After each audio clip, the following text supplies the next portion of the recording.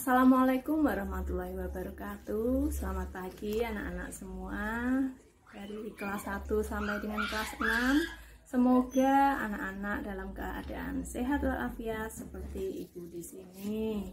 Perkenalkan untuk anak kelas 1 baru, nama ibu Gani Prasasti. Ibu yang akan mengajar anak-anak dari kelas 1 sampai dengan kelas 6 mata pembelajaran pendidikan jasmani, olahraga, dan kesehatan. Salam olahraga! Bertemu lagi dengan Bu Gani dalam materi MPLS yang kedua yaitu anti korupsi. Apa itu anti korupsi? Bagaimana supaya kita dapat melakukan sikap anti korupsi? Mari kita simak penjelasannya.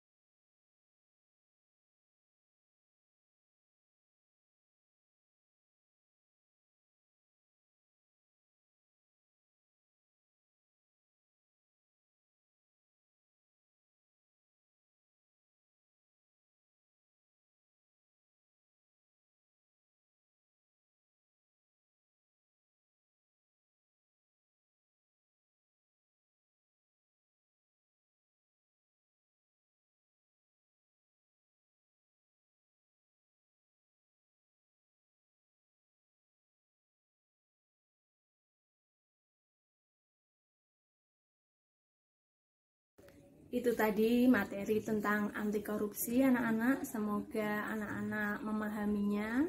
Ingat pesan yang ada dalam materi tersebut yaitu tanamkan sejak dini di dalam hati anak-anak sikap anti korupsi. Yang pertama adalah jujur. Kejujuran itu sangat penting. Yang kedua adalah peduli, peduli terhadap lingkungan, sekitar dan teman sesama, anak-anak harus biasakan itu. Yang ketiga adalah mandiri, mandiri dalam arti anak-anak tidak selalu ketergantungan terhadap orang lain. Dan yang terakhir adalah disiplin.